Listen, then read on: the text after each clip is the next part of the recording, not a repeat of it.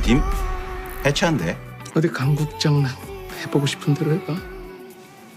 모든 건 너희를 위해서 했어. 너희를 지키기 위해서 했다고.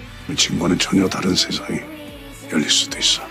이 차장 자리가 공석으로 있으면 보기에도 좀 그렇고 이 자리에서 그냥 말씀하시는 게 해외 정보국 강필호 국장을 추천하고 싶은데 어떻습니까? 단단히 각오해야 될 거야. 이제부터가 진짜 시작일 테니까. 설마 이걸로 끝났다고 생각하는 건 아니지.